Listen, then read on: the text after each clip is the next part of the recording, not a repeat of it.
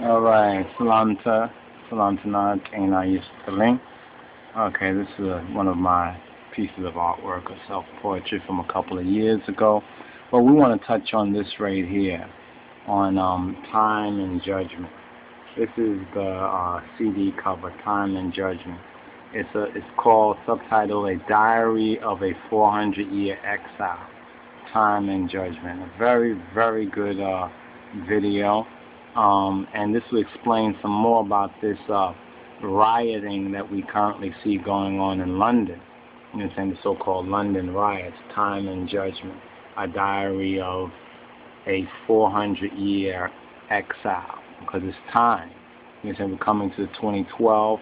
It's time, and it is judgment. You understand? Time and judgment. Now, when we look at when we look at uh, uh, the signs of the time. These are some of the signs of the time. When we look at the signs of the time, let's bring this up front and center, right? We look at the signs of the time. This is something that we had uh, compiled from Bible study, you understand, as well as head resting with Yah, that these are some of the signs or the features, the features of 20, 2012, the end of the world and we need to put the end of the world, this idea of the end of the world into context, is speaking of the end of white supremacy or the Gentile world system. The system we're living in now is considered the Gentile world system. But now, when we look at this right here, when we look at this uh, slide from a PowerPoint and lecture presentation that we have here, let's look at let's look over some of the 16. There's 16 of these. One is unprecedented warfare according to Matthew 24 and 7, Revelation 6 and 4.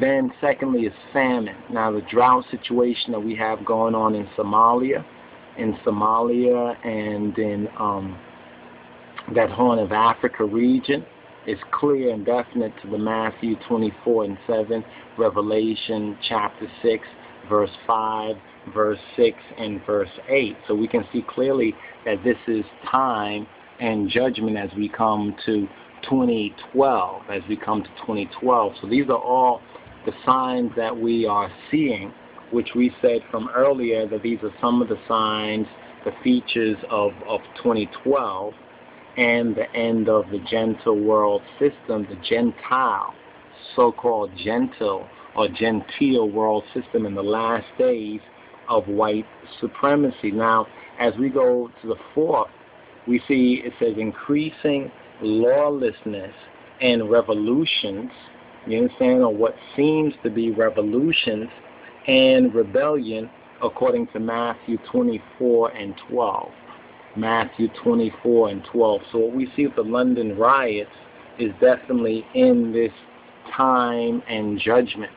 This time and judgment. Like we said, this video is a very important video that will help to put into context what is currently being seen and witnessed in London and various spreading to various different cities. It's a diary of a 400-year exile, time and judgment, and we know that as the scripture says, that your seed shall be a stranger in a land that is not theirs.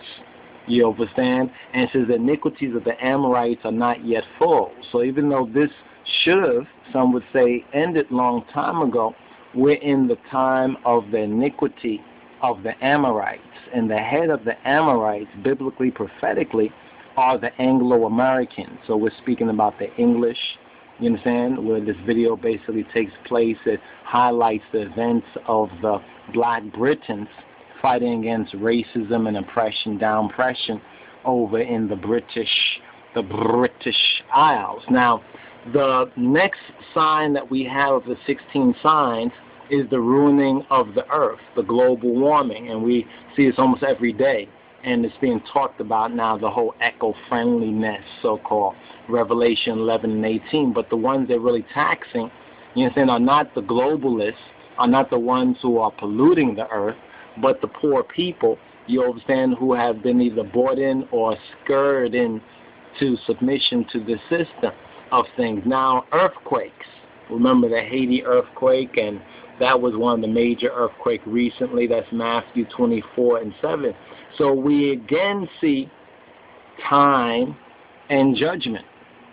Time and judgment in this diary of a 400 plus year exile.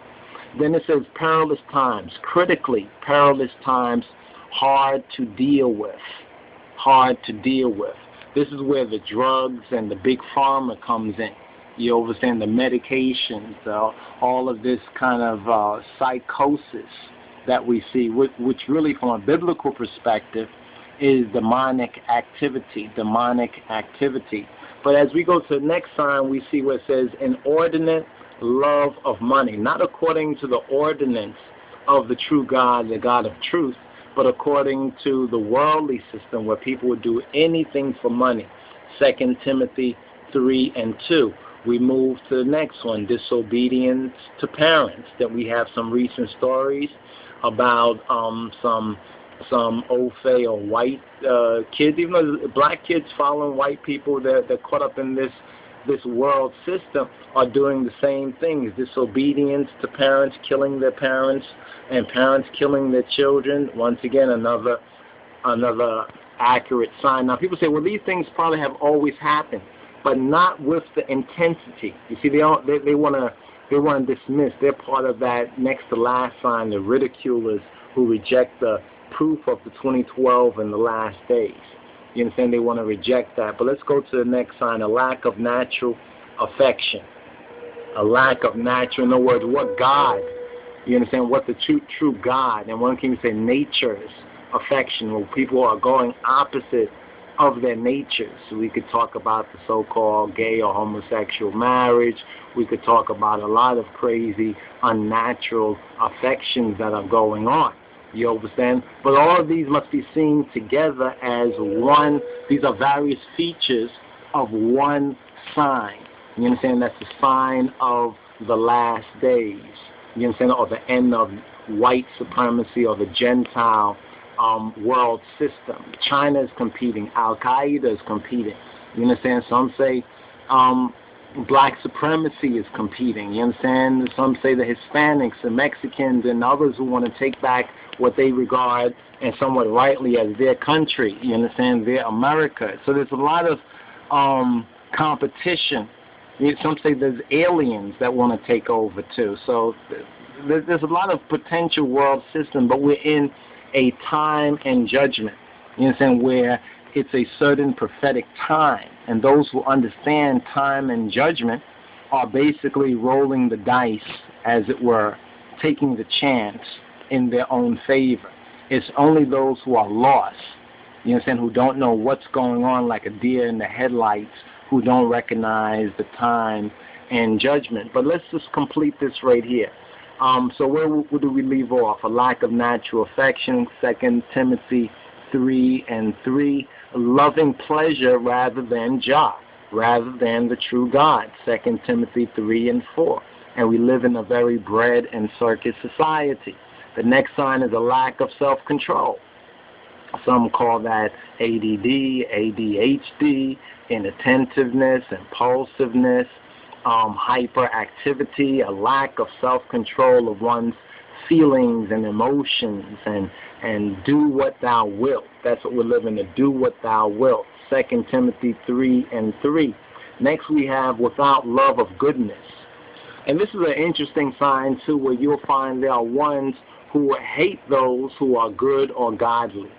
You understand? They think you're a sucker, you're a fool if you still have good thoughts or pure thoughts or clean thoughts because they're without a love of goodness, ungodly hatred, especially for those who seek God or seek the truth and seek good. Second Timothy 3 and 3. Then we have this sign, which is amazing. This is why a lot of people don't, they've heard these things before, but they don't get it is this next two, this will be the what, 15th, 16th, 13th, the 14th, the 14th sign, taking no note of impending danger. You understand? They're taking no note, even though we're seeing these signs all around us every day, day after day. You understand? They take no note of this.